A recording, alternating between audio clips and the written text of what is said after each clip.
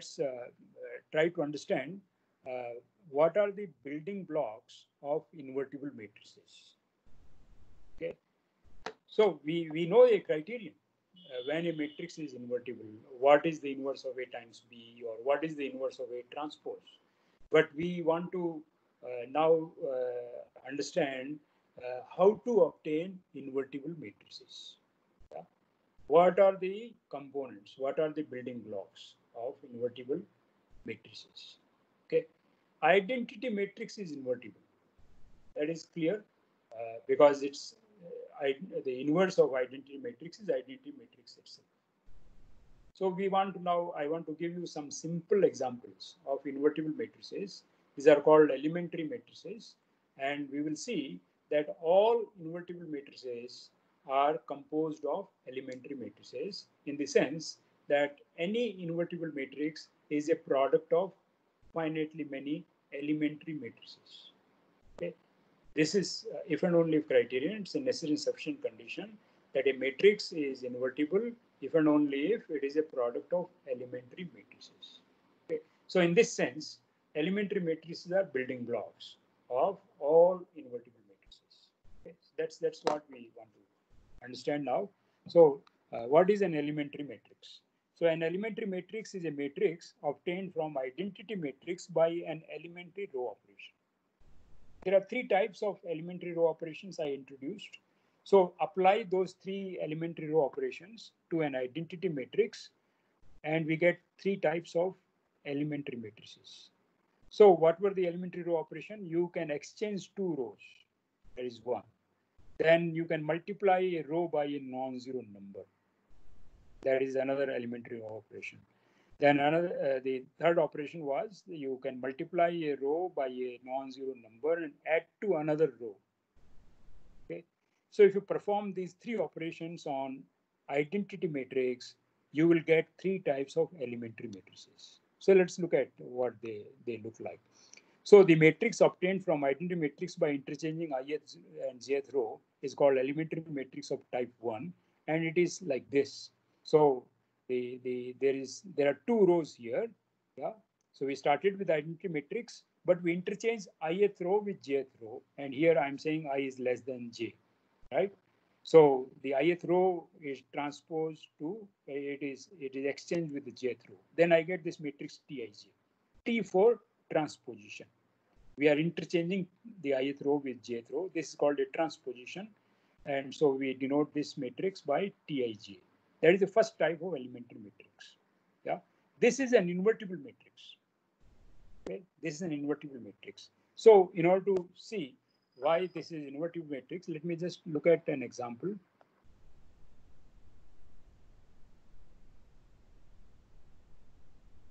So we understand matrices by their action. So suppose I have a two by two matrix. And this is the T12. That means I interchange the first row and second row. This is my T12. Okay. What is the action of T12 on E1? Yeah, that is the first column. Action of T12 on E2. This is the second column. So this is E1, this is E2, and this is E1. So if, if this uh, matrix is obtained by interchanging uh, the uh, first row with the second row, then you see that E1 is mapping to E2 under the action of T12, and E2 is mapping to E1 under the action of T12. So E1 and E2 are being interchanged by the action of T12. Okay. So if I take T12 and multiply by any matrix, multiply by any matrix, okay, what happens? This is equal to 0, 1, 1, 0, A, B, C, D. So use matrix multiplication. And so 0, 1 times AC is C, 0, 1 times BD is D, and uh, 1, 0 uh, times AC is A, and 1, 0 times BD is B. So you see that uh, the first first row was AB and that has been transposed here. And the second row CD has been moved to the first row. So T12, when it is acting on a two by two matrix, it is interchanging the first row and second row. And this is this is also true in general. So if I take Tij and multiply by uh, multiply Tij with A, so Tij is a n by n matrix. So in order to multiply this matrix A must be an n by m matrix. So this is this matrix is obtained from A simply by interchanging ith row and jth row. So this becomes jth row and this becomes ith row and other rows become the same. So Tij is obtained from A simply by interchanging ith row of A with the jth row of A. Okay, that is the action. So if I if I uh, yeah, so if I multiply Tij with Tij itself, what happens? I will get identity because uh, Tij, Tij acting on Tij will interchange the ith row and jth column of Tij. So, so I will get back the identity matrix again. Yeah. So this says that Tij is its own inverse. So it's an invertible matrix. Yeah. This Tij is invertible matrix. Tij times A is the matrix obtained from A by interchanging ith row and jth uh, row of A. Okay. So therefore, if I operate Tij, uh, multiply Tij with Tij, I will get identity matrix, and therefore Tij, uh, Tij is invertible, and it's its own inverse. This should be I here. Yeah, should be I. Okay. So Tij is invertible matrix. It is its own inverse because Tij square turned out to be identity.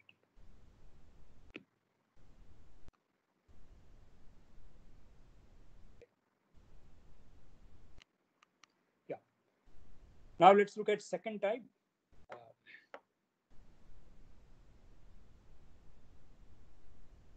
The matrix obtained from identity matrix adding m times ri to rj uh, okay that is called uh, Tij-M. So Tij was the, the matrix obtained from identity matrix by interchanging ith row and jth row. But Tij-M uh, means that I'm multiplying uh, ith row by m and adding to the jth row. Then I get this Tij-M matrix. Okay, and uh, the action of Tij on m, uh, if uh, uh, on on a arbitrary matrix, uh, is again uh, easy to understand.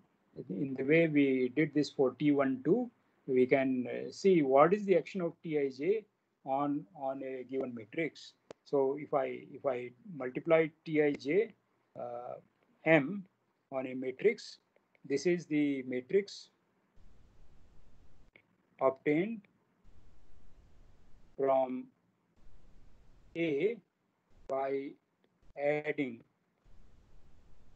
m times ith row to jth row. Yeah, that is the action of Tij-M. So therefore, if I take Tij-M and then uh, take Tij minus M, this will be identity. I'm reversing the operation. So this shows that Tij-M is invertible. This is invertible for any m.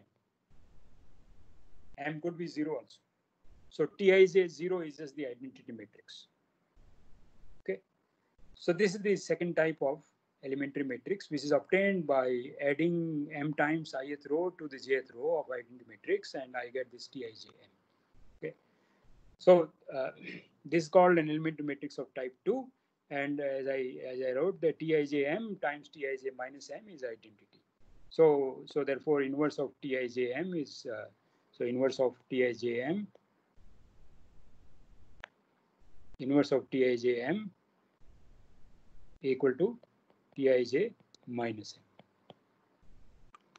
Okay, right. This is the second type of elementary matrix. Let's look at the third type of elementary matrix. This is obtained from identity by the elementary row operation m times ri, where m is not equal to 0. Okay, m is not equal to 0 here.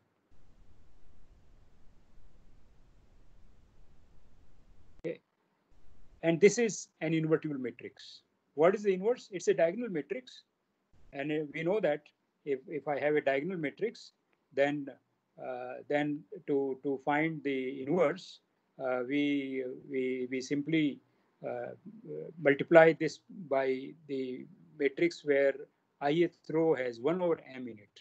So TIM times TI 1 over m. That will be identity.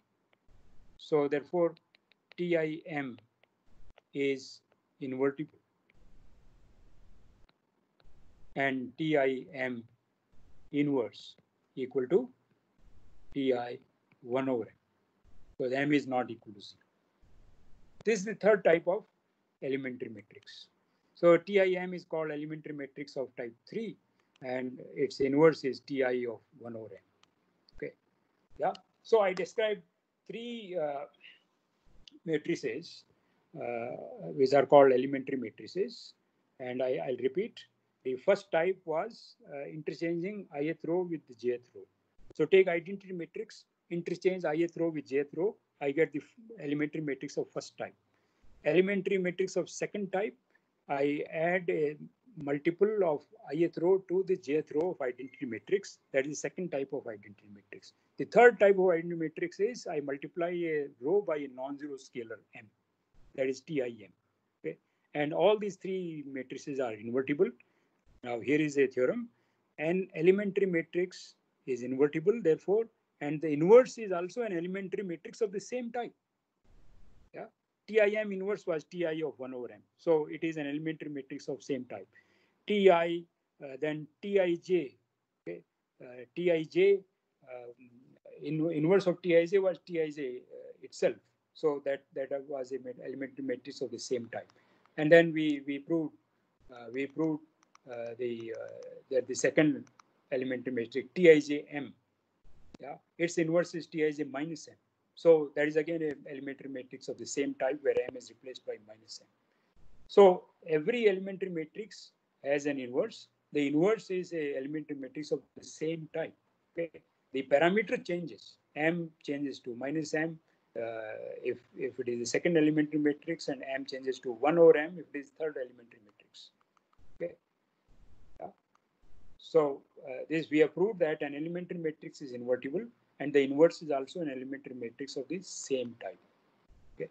Now let's let's prove a very interesting uh, characterization of uh, what are the building blocks of elementary uh, of invertible matrices. So let A be a square matrix. Then uh, the following are equivalent. A can be reduced to identity matrix by a sequence of elementary row operations. Now this fact says that the row canonical form of A is the identity matrix. We observed, I didn't prove this, but you can read the proof, that row canonical form of any matrix is unique.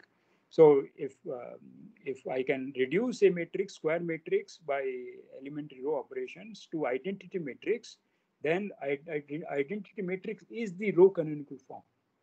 Okay, so this statement says that uh, the row canonical form of matrix, uh, this square matrix, is identity matrix, which means that by a sequence of elementary row operations, I can uh, change A to identity matrix. That is the first statement.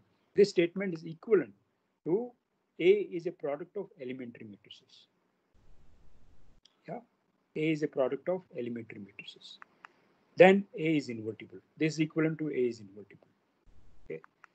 And fourth statement is AX equal to 0 has only trivial solution. AX equal to 0 has only the trivial solution.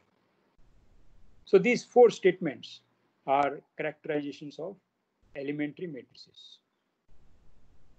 A can be reduced to identity by a sequence of elementary row operations. That means the row canonical form of A is identity matrix. Second statement is A is a product of elementary matrices. So this means that invertible matrices are built out of elementary matrices in the sense that the only way to get invertible matrices is by multiplying certain number of elementary matrices. Yeah. The last statement has to do with the uh, nature of solutions of a homogeneous system of linear equations. So if A is a square matrix and AX equal to 0 has only trivial solution, uh, then we can say A is invertible matrix and vice versa. Yeah. So these four statements are equal. Let us uh, give a proof. So when I say that four statements are equivalent, I need to show that they are equivalent to each other. That means any statement is equivalent to any other statement. But uh, we, we prove this by proving that uh, the first statement implies the second statement, second statement implies the third, third implies the fourth, and fourth implies the one. And that will prove that all the four statements are equivalent. So let us prove that if, if identity matrix is the row canonical form of A, uh, then A is a product of elementary matrices. Okay. So what is the meaning? How do we obtain uh, row canonical form? Uh, we simply by performing elementary row operations. Okay. So if if uh, if I, I apply apply an elementary row operation,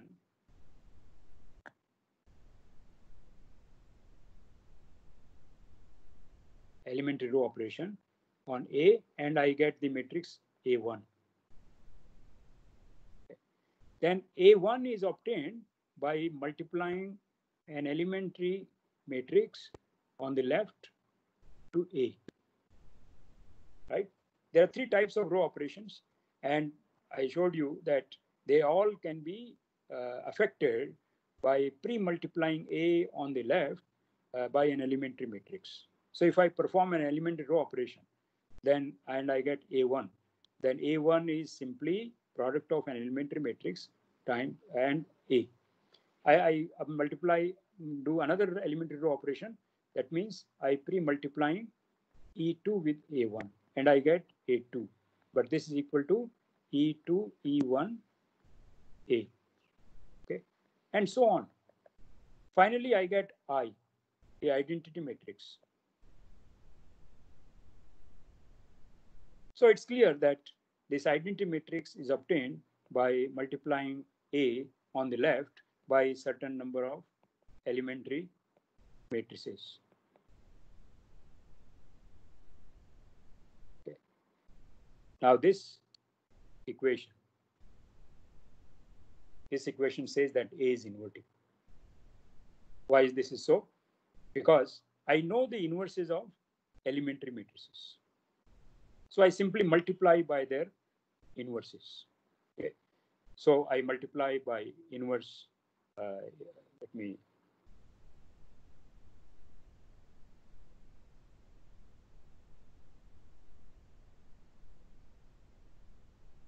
Uh, so suppose I let us take a simple case: E2, E1, E2, E3, E3, E2, E1, A equal to identity and I want to find the inverse of A. Yeah. So multiply by inverse of E3, then multiply by inverse of E2, then multiply by inverse of E1. So I have to do the same thing here. So E1 inverse, E2 inverse, E3 inverse. This becomes identity and therefore A equal to E1 inverse, E2 inverse, and A3 inverse. So A has become a product of elementary matrices. That's what it says. That uh, if if uh, the elementary row operations which are used to get identity matrix from A, then uh, A becomes a product of elementary inverses of the elementary matrices of the same type. So in this Gauss elimination method to get get the row canonical form, yeah, of A, if A is invertible, uh, then it, it says that uh, identity matrix is the row canonical form. Yeah, and this says that A is a product of uh, the inverses of the elementary matrices which were used to perform the elementary row operations on A. So we have proved A is a product of elementary matrices. If the the canonical row canonical form of A is identity matrix, then A is a product of elementary matrices. Now, once A is a product of elementary matrices, then it is invertible because we, we showed that inverse of invertible, uh, the product of invertible matrices is invertible. Therefore, uh, A is invertible. Yeah. Then 3 implies, uh, C implies D. If A is invertible and then AX equal to 0, if I have AX equal to 0 and A is invertible, I just multiply by A inverse. Yeah. And this is equal to 0 and therefore X must be 0 because this is identity. So AX equal to 0 will have only a trivial solution. So C implies D. That is all right. Now let's prove D implies A. Okay.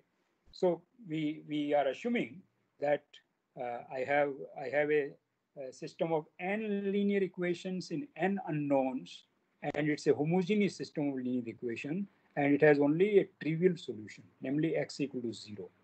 Yeah. Then I want to prove that A can be reduced to identity matrix by a sequence of elementary row operations. So one statement is about solvability of a homogeneous system of equations, which says that there is a, a, unique solution, namely the zero solution. The second fact is about the row canonical form. Yeah? That the row canonical form of a, a must be identity matrix. So, uh, yeah. So we, in order to prove this, we first observe that a square matrix is in row canonical form is either the identity matrix or its bottom row is zero you know, the row, if a matrix is in row canonical form, then the zero rows must occur at the bottom. Yeah.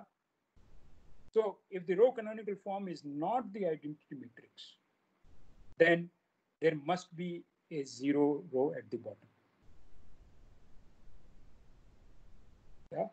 So square matrix in row canonical form is either the identity matrix or because above every pivot and below uh, that pivot, all the entries are zero. So imagine uh, I have a square matrix and it is in row canonical form. Yeah? Then uh, the number of pivots, if it is n by n matrix, the number of pivots is either n or it is less than n. Suppose it is equal to n. That means every column has to have a pivot. But the pivots are sliding from left to right as you go from one column to another. And therefore, if there are n pivots, the this matrix has to be identity matrix. If there are less than n pivots, that means the number of non-zero rows is less than n, and therefore there the bottom row must be equal to zero. That's what it says. That if I have square matrix, then the row canonical form has these two possibilities. Either it is identity matrix or the bottom row is zero. Okay.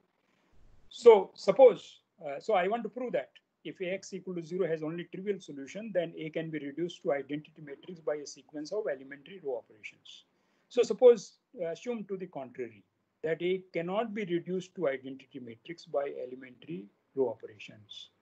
If A can't be reduced to identity matrix by elementary row operations, then there, uh, then the row canonical form must have zero row at the bottom. Yeah, it must have zero row. So there is a zero row here. And there are other entries. This is my row canonical form. But when I take the row canonical form and set up the system of linear equation, this system and Ax equal to zero, they have same set of solutions. They will have same set of solutions. But now let us understand whether A prime X, okay, A prime X equal to zero, that means the bottom row is zero. So number of pivotal variables is less than n. So there is a free variable. Yeah? There is a free variable. Once there is a free variable, there are infinitely many solutions. So we have arrived at a contradiction. Our assumption was Ax equal to 0 has only the trivial solution. But, but if, if A can't be reduced to uh, identity matrix by elementary row operations, then its row canonical form must have zero row at the bottom. Once it has zero row at the bottom, the, there are fewer than uh, n uh, pivotal variables. So there is a free variable. Once there is a free variable, then a prime x equal to zero has a non-trivial solution. That is a contradiction. Okay. So any questions on this uh, tricky proof? Uh, any questions on this proof?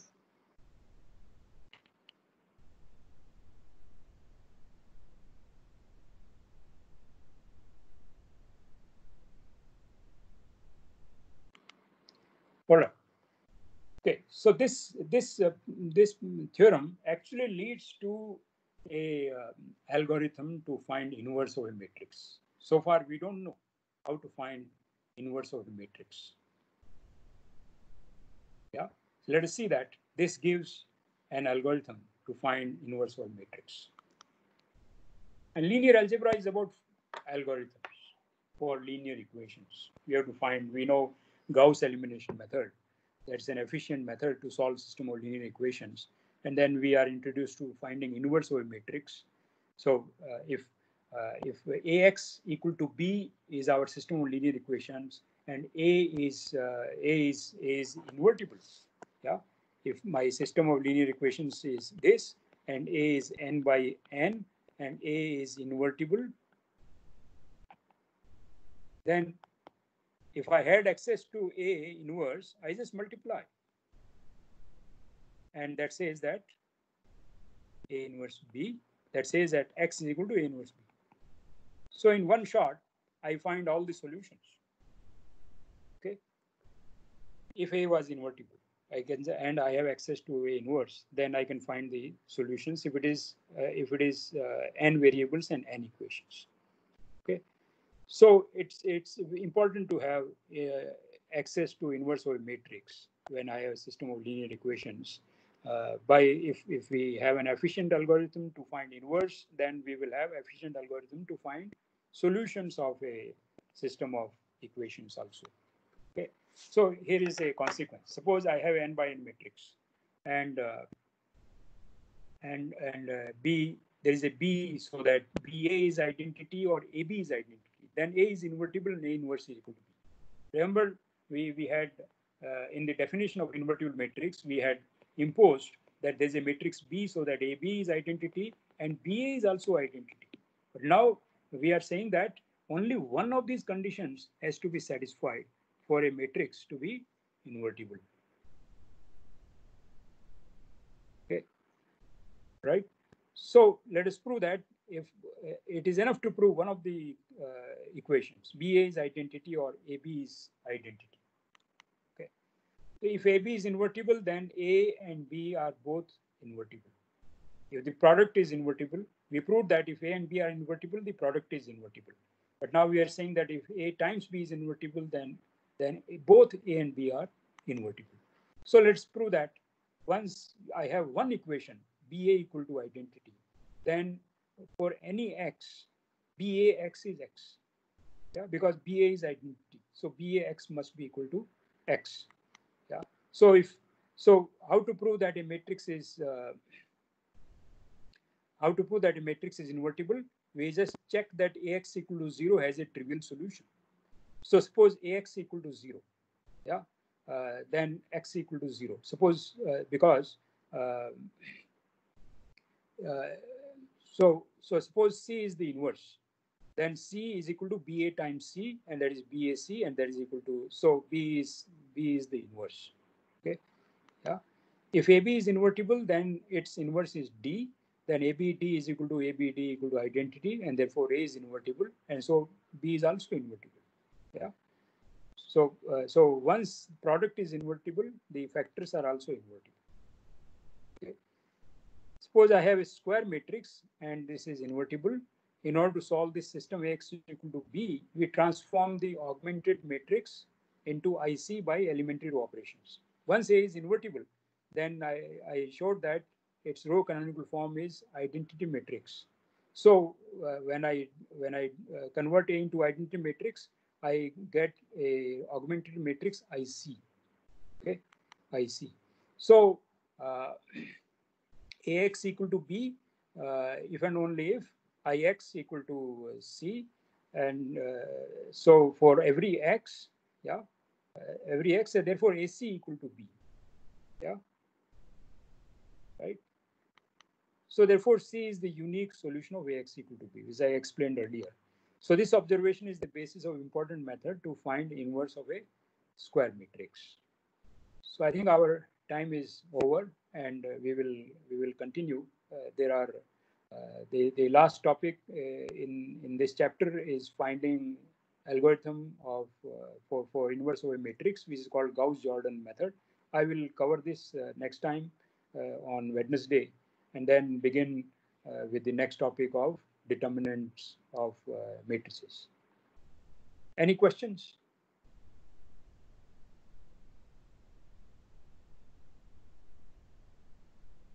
Okay, so thank you all. Uh, we'll we'll meet on uh, next Monday, and please please register in SAFE because from next week we start the quizzes. The first quiz will be a mock quiz based on assignment one, and uh, we will not add marks, but it is it is for practice. We have to learn uh, how to use SAFE and uh, how to uh, upload your answers, whether they are multiple choice or descriptive a, a, quiz can have descriptive questions and we will ask you to upload. Okay. Okay, so thank you very much.